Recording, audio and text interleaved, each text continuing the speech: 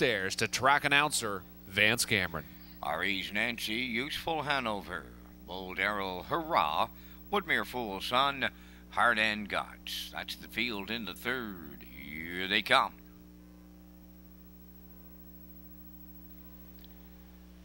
They're up and pacing the inside. Force them on the gate, getting away. Artie's Nancy, and she's gone off stride into the turn. Now to go to the front is Useful Hanover. From the outside, Hurrah will keep coming. Away in third, that's Bold Arrow. Coming on fourth is and Guts.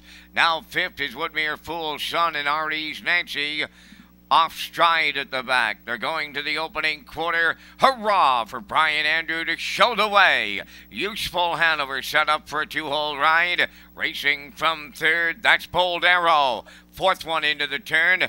And Guts, 30 seconds flat the quarter. There goes and Guts underway fourth. Woodmere Fool Son is fifth in the backfield.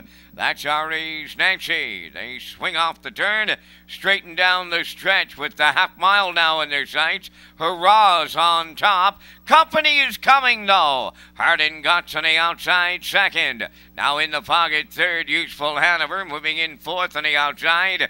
Woodmere Fool Son. Bold Arrow goes fifth and off stride is RE's Nancy. One minute and three fifths was the opening half mile. Moving over to the 5 8 to the leader. The challenger is and Guts. Third up the rail, Useful Hanover. Bold Arrows underway fourth. Woodmere Fool Son is on the run.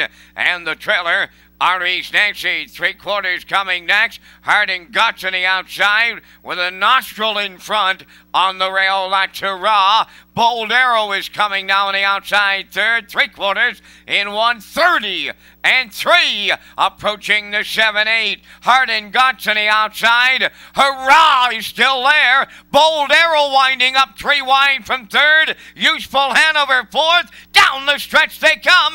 Bold Arrow on the far outside.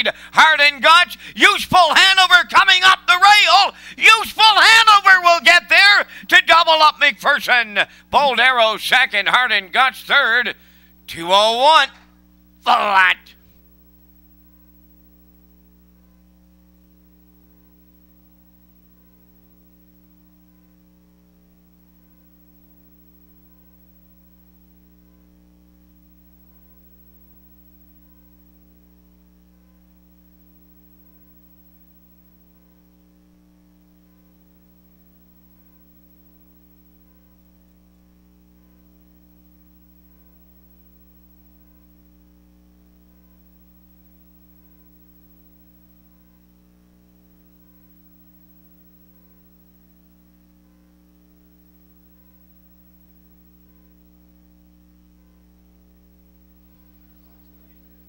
Well, you can see there on the slow motion replay, two entry, useful Hanover. Corey McPherson picking up his second win of the evening already into three races.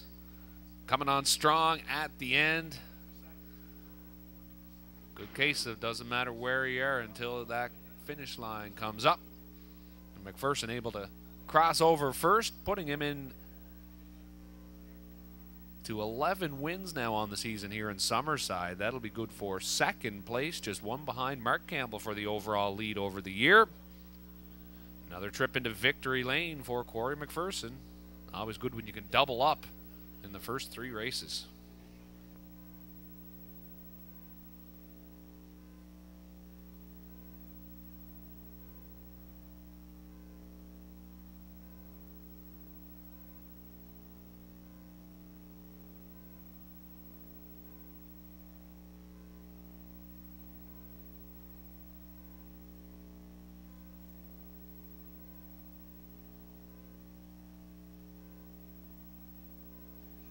Useful Hanover lands on the line first here in the third race, going to the winner's circle by facing Gelding 5, but Western Ideal from the Dragon Again Dam up front fire. Owned by Jason Sherry of Kensington, Corey McPherson training and driving. Back to back winners for the McPherson double. Mile and 201. Useful Hanover in the third.